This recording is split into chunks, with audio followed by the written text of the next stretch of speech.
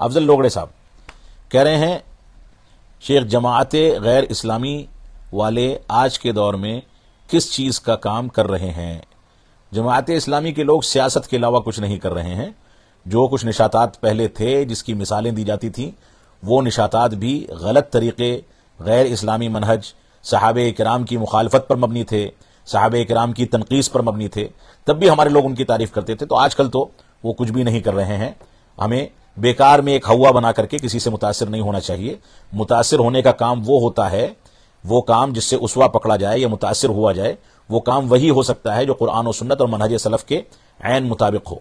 एक आदमी साहब कराम को गलत बयानी करके उनकी तनकीस करता है, उनकी तोहन करता है और उसके बाद थोड़ा सा कोई जज्बाती काम कर देता है तो हम उसकी वाहवाही करने लगते हैं। अगर उसके यहाँ इस्लाम पसंदी होती तो साहब कराम के बारे में इस तरह का मौकफ किसी बुनियाद पर इख्तियार नहीं करता। तो इन लोगों के ज़रिए से हमको धोखे में नहीं आना चाहिए। ये लोग इस्लाम और इसी तरीके से दुनिया के अक्सर ममालिक को तबाह करने वाले लोग हैं। अल्लाह रबालमीन हमको महफूज रखे।